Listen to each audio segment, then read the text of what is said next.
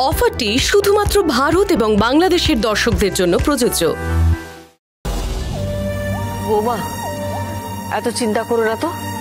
সমুদ্র যখন আছে তখন কিছু না কিছু একটা ব্যবস্থা করবেই আর চিন্তা করো না। কিন্তু মা অনেকক্ষণ তো হয়ে গেল। সমুদ্রকে একটা ফোন করি আমি। না না করো না।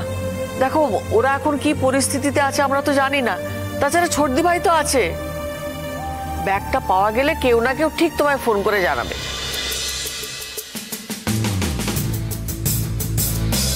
ওই তো মা ওরা এসে গেছে।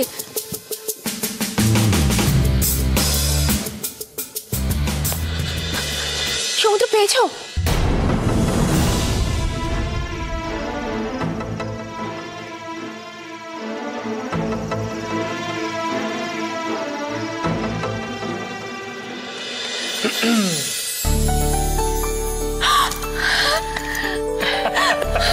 দেখে নিন সব ঠিক আছে কিনা?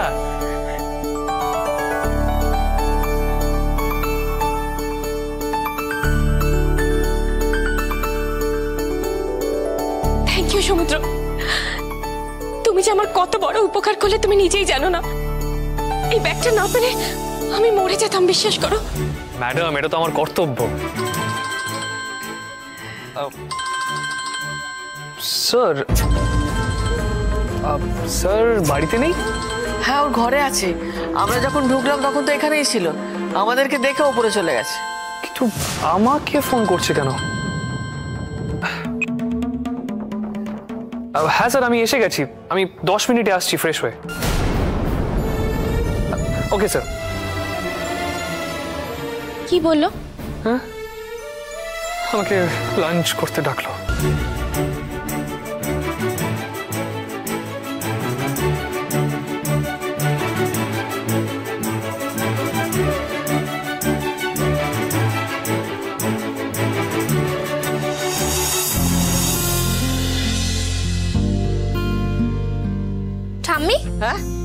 দিভাই কোথায় গো?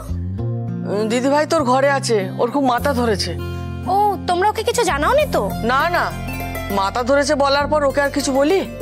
এত যে সব ঘটনা ঘটে গেল ও কিন্তু কিছুই জানে না। দাঁড়া আমি একটু দিদি ভাইয়ের ঘরে যাই। দাঁড়া তো। মা আমি ফ্রেশ হয়ে আসি।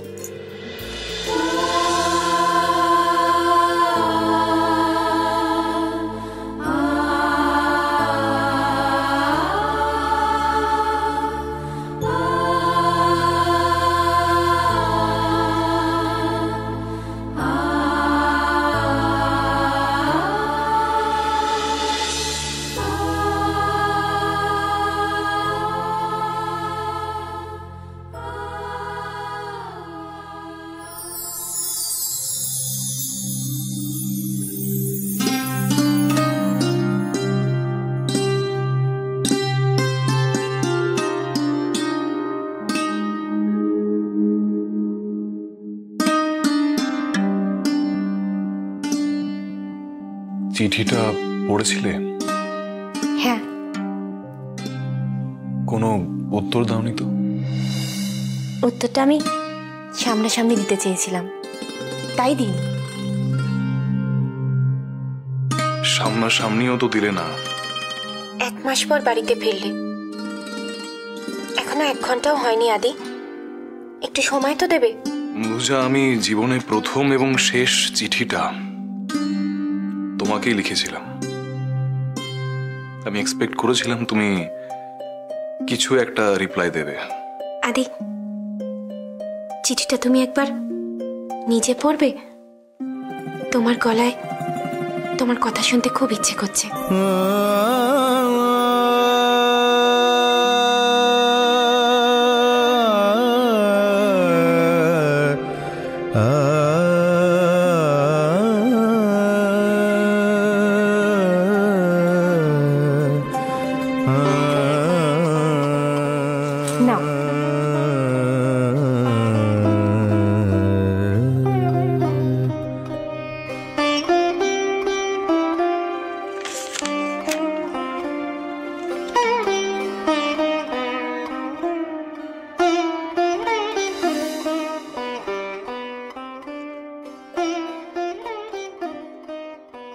মধুজা,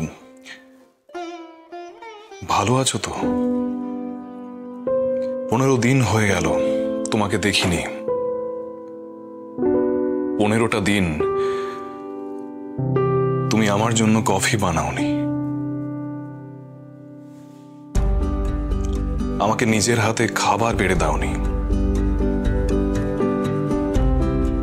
আমি একটুও ভালো নেই চিন্তা করো না, শরীর ঠিক আছে কিন্তু মন ভালো নেই।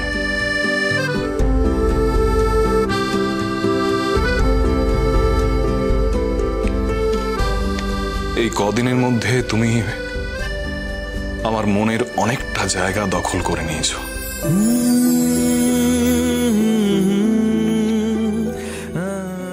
ভাবতেই অবাক লাগে। আমিও নাকি চিঠি লিখছি। কাব্য আমার একেবারেই আসে না, কিন্তু চিঠি লিখতে গেলে নাকি একটু কাব্য করতে হয়। জানি না কতটা পারব, তবে চেষ্টা করছি।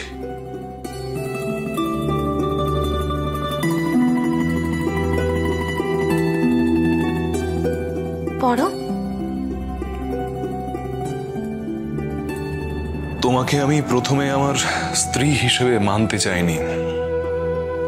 কিন্তু যেভাবেই হোক, আমাদের বিয়েটা হয়েছে।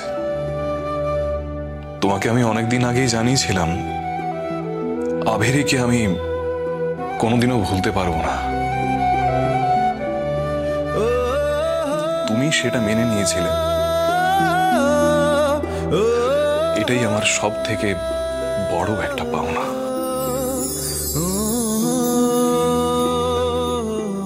আমি তোমাকে জানিয়েছিলাম, আবিরির জায়গায় কোনোদিনও তোমাকে বসাতে পারব না। তাও তুমি কোনো আপত্তি করনি। কোনোদিন আমার উপর এই নিয়ে রাগও দেখাওনি। যাই হোক, প্রথমে মানতে না চাইলেও এখন তোমাকে এখন তোমাকে স্ত্রী হিসেবে মেনে নিয়েছি। তাই আজ একটা কথা বলছি আভেরিকে যে চোখে দেখতাম, কোনোদিনও তোমাকে তার থেকে অন্য চোখে দেখব না। কেন জানো? কারণ এই কদিনে একবারও তুমি আমার মন থেকে আভেরিকে সরানোর চেষ্টা করনি।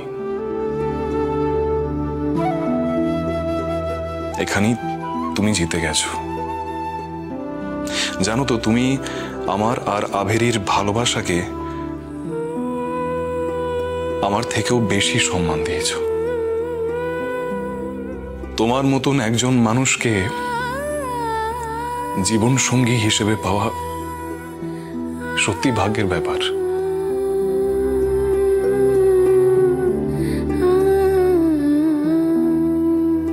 কথা দিচ্ছি। যাই হয়ে যাক। কোনোদিনও তোমার হাত আমি ছাড়ব না। উত্তরের অপেক্ষায় রইলাম। তোমার আদি।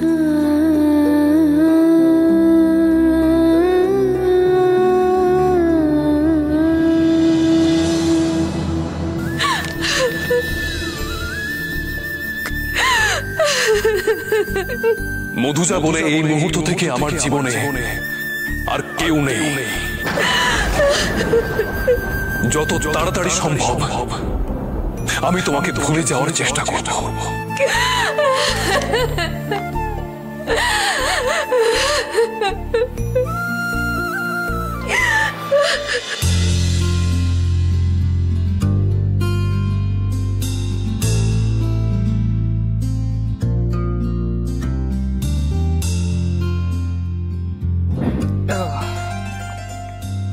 সমুদ্র একটু লেট হয়ে গেল। না স্যার আমারই তো ফিরতে লেট হলো। অ্যাকচুয়ালি বাড়ি ফিরে ফ্রেশ হয়ে এলাম। তুমি উঠছো কেন? আমি সার্ভ করে দিচ্ছি স্যার না না তুমি বসো। দেখো আজকে আমি শেফ আমি সার্ভ করব okay no sir it's okay আমি সমুদ্র বেশি কথা বলা আমি পছন্দ করি না। বসো। Okay sir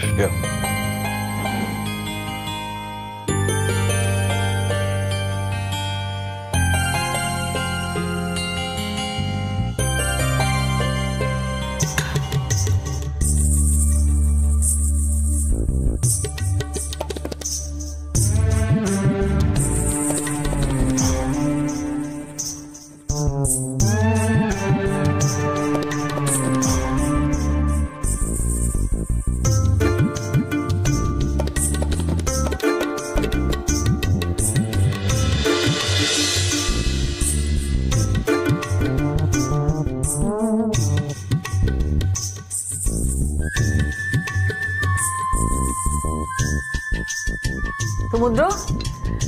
আদির রান্না তোমার ভালো লেগেছে? ওর তো প্লেট খালি ওকে কিছু দে। হ্যাঁ আরে হ্যাঁ। এটাই তো খাওয়ার বয়স। আমি দিচ্ছি আরো- না না না স্যার আমি আমার পেট একদম ভরে গেছে বিশ্বাস করুন। এর থেকে ভালো খাবার আমি কোনোদিনও খাই একটু দিচ্ছি। Sir thank you sir thank you sir thank you আসছি।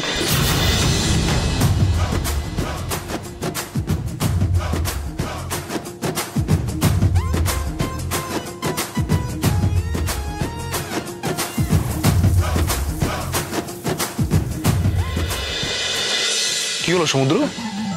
শুরু করো। হ্যাঁ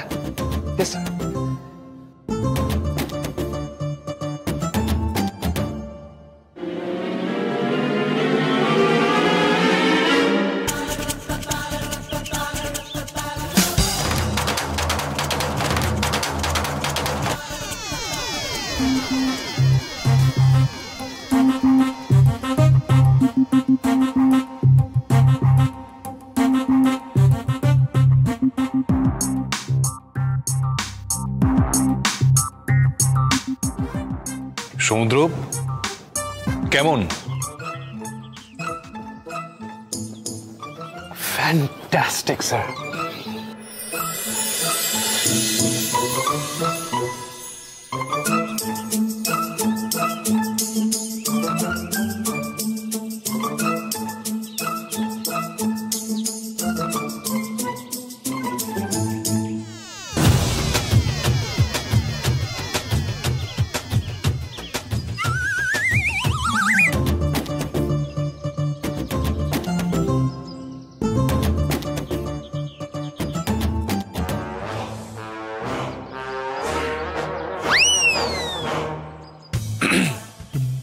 সমুদ্র।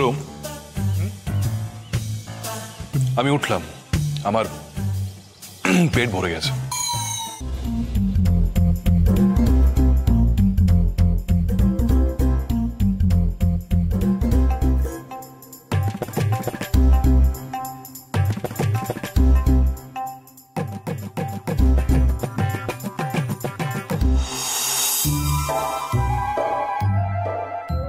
কেমন খেলে সমুদ্র?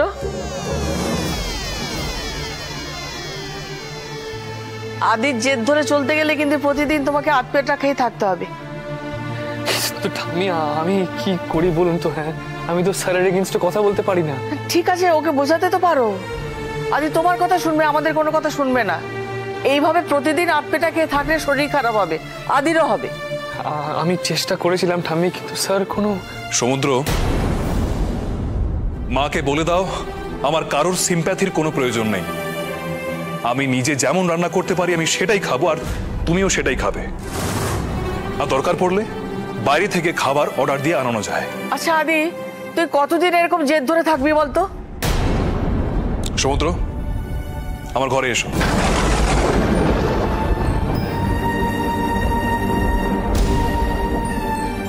কি হলো সমুদ্র? এসো।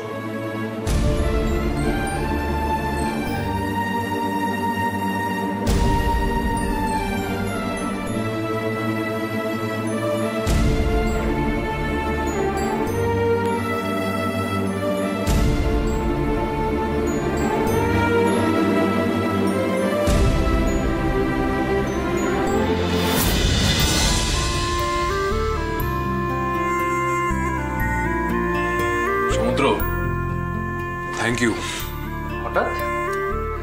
আজকে আমাকে মন্দিরে নিয়ে যাওয়ার জন্য। ওখান থেকে বেরোনোর পর বেশ শান্তি লাগছে। কি হয়েছে স্যার? তোমার মুখ দেখে মনে হচ্ছে তুমি আমাকে কিছু বলতে চাও। বলো। না স্যার তেমন কিছু না। সমুদ্র হেজিটেট করো না বলো। স্যার বলছিলাম সব কিছু কি আবার আগের মতন করে নেওয়া যায় না? মানে? মানে বাড়ির মাঝখানে যে দাগটা দেওয়া হয়েছে ওরা যদি মুছে দেওয়া যেত? আসলে স্যার একই বাড়িতে দুটো পরিবার একদম ভালো লাগছে না। দাগটা দিতে আমি বাধ্য হয়েছি সমুদ্র। আমি যাদেরকে বিশ্বাস করতাম তারা যে আমার সাথে এরকম করবে আমি ভাবতেও পারিনি। আমি বুঝতে পারছি স্যার কিন্তু নিজের মানুষের উপরে রেগে থেকে তো কোনো লাভ নেই। এতে আপনিও কষ্ট পাচ্ছেন ওরাও কষ্ট পাচ্ছে। স্যার অনেক তো হলো এবার তারার ব্যাপারটা আপনি সমুদ্র প্লিজ। তুমি ওই মেয়েটার ব্যাপারে আমার সাথে কথা বলো না। আমি ওই মেয়েটার নাম যতবার শুনি, ততবার আমার কষ্ট হয়। আমার, তোমার কথা ভেবে কষ্ট হয়। আমার মনে হয় যে আমি জোর করে তোমার ঘাড়ে ওই মেয়েটাকে চাপিয়ে দিয়েছি। আর তুমি এতটাই ভালো, তুমি আমাকে এতটাই ভালোবাসো যে ওই মেয়েটার সাথে তোমার বিয়ে দেওয়াটা তুমি মুখ বুঝে সহ্য করে নিচ্ছ। সেই কষ্টটাকে তুমি মুখ বুঝে মেনে নিচ্ছ।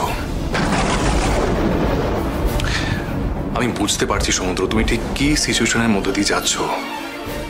কিন্তু আমি তোমার সাথে যে কত বড় পাপ করেছি, সেটা ভাবলেও কিন্তু পাপ যখন করেছি, আমাকে প্রায়শ্চিত করতেই হবে। তোমার জীবনটা নষ্ট করে দেওয়ার অধিকার আমার নেই।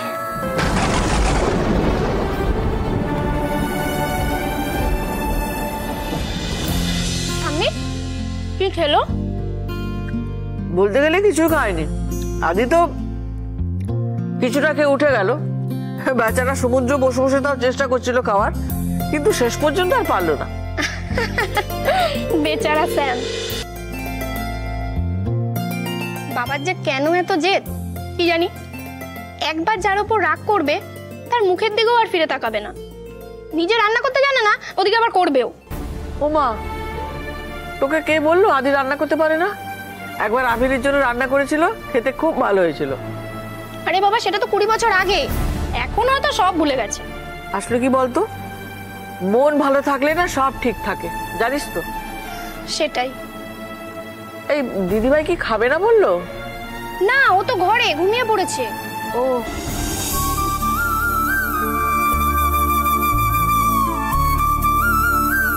জানো ঠাম্মি হ্যাঁ? স্যামের জন্য না আমার খুব খারাপ লাগছে। ও কি করবে কোন দিকে যাবে কিছুই বুঝতে পারছে না। ওদিকে আবার বাবার মুখের উপর কথাও বলতে পারে না। আচ্ছা ও কি বাবার ঘরে? বেচারা ছেলেটাকে আতপেটা খাইয়ে ধরে বেঁধে নিয়ে চলে গেল আদি। স্যামের বিয়েটা হয়েছে না পুরো দিল্লিকা লাড্ডুর মতো। খেয়েও পস্তাচ্ছে আবার না খেলেও পস্তাতো। ঠাকুর ঠাকুর করে আমাদের আদি ডাকটা পড়ে যাক বাবা আমাদের বাড়িটা আবার আগের মতন হয়ে যাবে। বসে আছিস কেন? খা। খা। সমুদ্র তুমি চাইলে ওই মেয়েটিকে ছেড়ে দিতে পারো। তুমি বলো রাজি কিনা? আমি তোমাকে পার্সোনালি হেল্প করব। কি হলো? চুপ করে আছো কেন? বলো। না না স্যার মানে বলো। এক্সকিউজ মি হ্যালো হ্যাঁ বলুন বলুন। এই ভদ্রলোক যে ঠিক কোন বলে লেগ বিফোর হবেন কি জানি। বাউন্সার দিলে অফ সাইডে ছয় মেরে দিচ্ছে। এত কষ্ট করে যাকে আমি বিয়ে করলাম, এখন কি আমাকে তাকে ছেড়ে দিতে হবে? আর কি হচ্ছে? আজ পেটা খাইয়ে এখানে বসিয়ে রেখেছে।